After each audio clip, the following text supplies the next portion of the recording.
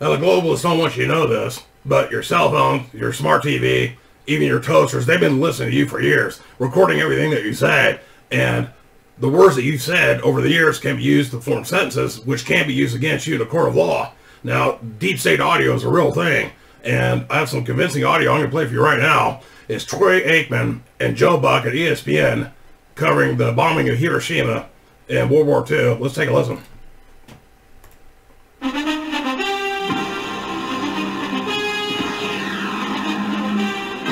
Hello, everyone, and welcome to Fox's coverage of an American bombing run on Hiroshima. I'm Joe Buck, and with me, as always, is Troy Aikman.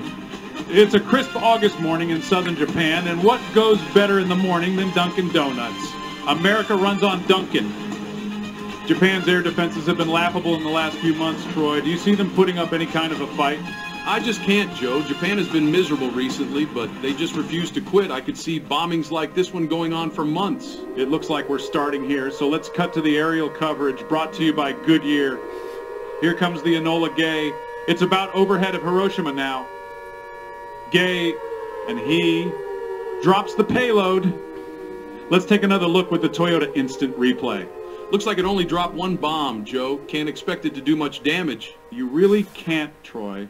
But what you can expect is for America to tune in to a brand new episode of The Simpsons, followed by a new Family Guy, only on Fox.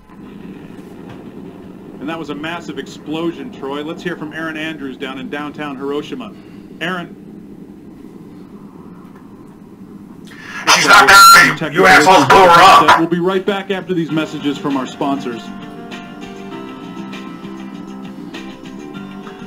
I've been saying it for years, people. The answer to 1984, 1776, throw out your toasters, uh, build a Faraday cage around your house, walk around in tinfoil. That's the only way we're going to be safe, alright?